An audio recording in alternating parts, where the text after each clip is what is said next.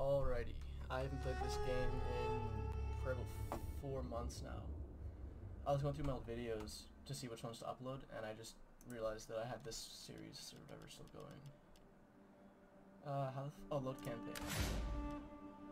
Egypt hard mode. Okay.